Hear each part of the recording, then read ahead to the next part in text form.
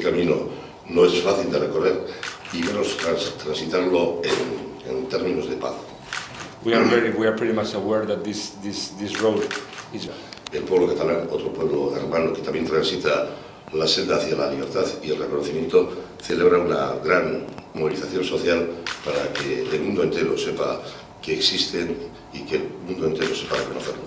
Yeah, Actually, today, another sister people, like the Catalan people, they celebrate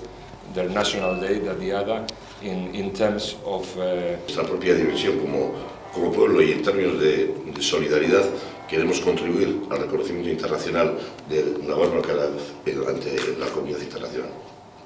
in, in our case, as a very solidari- solidarity people, we want to contribute to the international recognition of Nagorno-Karabakh. Y queremos manifestar nuestro compromiso de que el resto de las instituciones vascas también eh, lo hagan. And we want to believe that uh, people of Karabakh, people of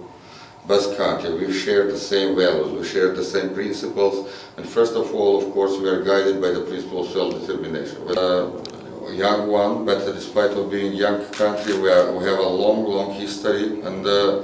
uh, the path of our history, for our point of view, is very similar to the path of Basque people. We share many, many uh, common points in, uh, in our history, and I believe that uh, today with this visit,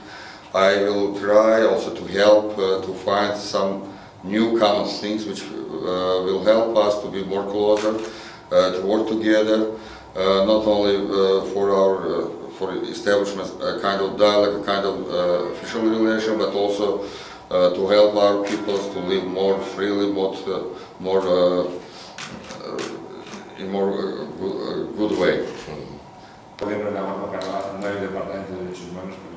But this, uh, but this is a very interesting decision.